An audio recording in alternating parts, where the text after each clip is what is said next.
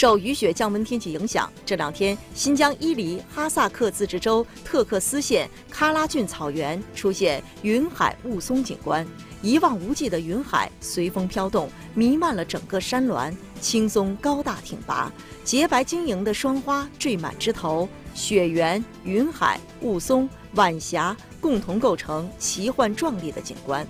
草原、河流、云山、牛羊在云雾中若隐若现，如梦似幻。